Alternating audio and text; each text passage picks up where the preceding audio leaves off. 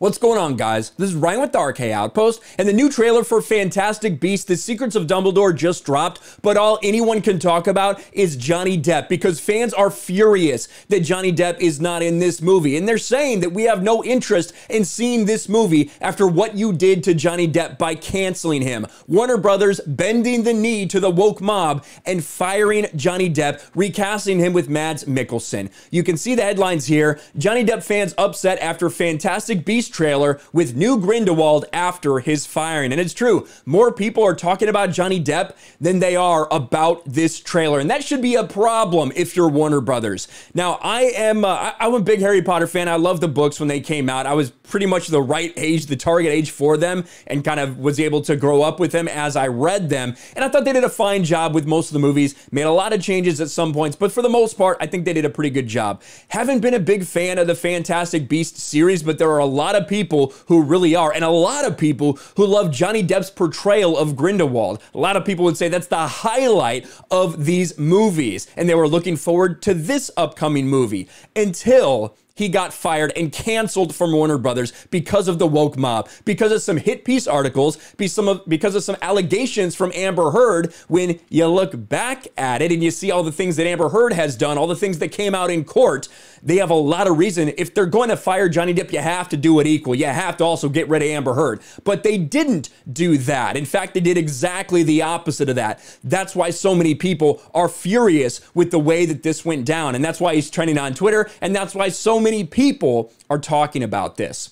The trailer to Fantastic Beasts and the Secrets of Dumbledore premiered on Monday, giving us our first look at Mads Mikkelsen as Gellert Grindelwald. Mikkelsen took over the role after Depp was fired in November of 2020 when he lost a defamation lawsuit related to his alleged uh, physical, we're not going to say that word, of his ex wife. Depp's fans were upset by the new trailer and many vowed to boycott this movie. And that's the entire thing. He lost a defamation lawsuit against a uh, against a publication, right? Um, to try to sue them for defamation, which is incredibly hard to win, by the way, incredibly hard to win. And because he lost that, Warner Brothers treated that as if it were just facts that something had happened, which is absolutely insane and ridiculous. And it would be one thing if they applied the same standard equally, but they did not do that. They kept Amber and they dropped Johnny Depp, and it was it's cancel culture, definitively. That's what it is. And Johnny Depp has spoke at length about this a lot about cancel culture and the impact that it has had on his life. Fantastic Beasts Secrets of Dumbledore facing an uphill battle between recasting, the outcry against author J.K. Rowling's transphobic comments. We're going to talk about that as soon as I get that video monetized, YouTube. Hello. That's taking forever because we know what YouTube's trying to do to this channel. They're trying to suppress it, but uh, they just can't. We're just going to keep rocking and rolling no matter what these people try to do. If I have to wait three days for a video to get monetized, that's how long it's going to take. But anyway, moving on. Since the last installment of the Harry Potter spinoff franchise, franchise came out, Rowling has been fiercely outspoken. Well, let's get back to Johnny Depp. Let's get back to how upset people are about this. And uh, here's the trailer Fantastic Beasts isn't the same without Johnny Depp. We're not going to watch this entire thing because I, I honestly really don't have too much interest in that. But I did want to show you the first look that we had at Grindelwald. I think it's right around here. Grindelwald's pulling it there you go. There's Grindelwald. And if you if you remember the look and the difference between what Johnny Depp looked like as Grindelwald, very unique. It stood out a lot.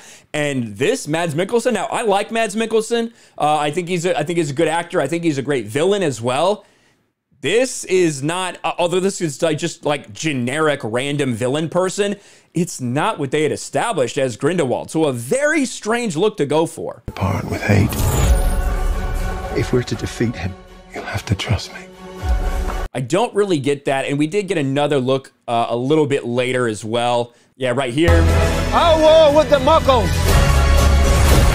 There you go. Uh, he's also in this little vat right here. Again, uh, it would look fine, I guess, if that's how Johnny Depp had looked, but that's not really how Johnny Depp had looked. Uh, Johnny Depp will always be our Grindelwald. Someone else says hashtag justice for Johnny Depp.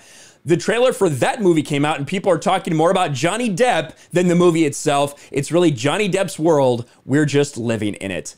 Um, and here you go, and a lot of them in Spanish as well. Very good. Uh, the Fantastic Animals trailer. It's obviously the translation, but Johnny Depp is second to none like Grindelwald. There's Johnny Depp as Grindelwald. Very unique style and look for Johnny Depp, obviously, compared to what Mads Mikkelsen and what they're going for there. But if you look at Twitter, if you just scroll through the responses, it is just on and on and on about Johnny Depp. The world owes an apology to Johnny Depp. Johnny Depp is my Grindelwald. You can see here a lot of obviously different pictures of Johnny Depp as Grindelwald. A lot of people talking about when he came and made that appearance in character as Grindelwald and kind of just lit everybody up. Uh, and he's always been so good about that type of thing as well as an actor.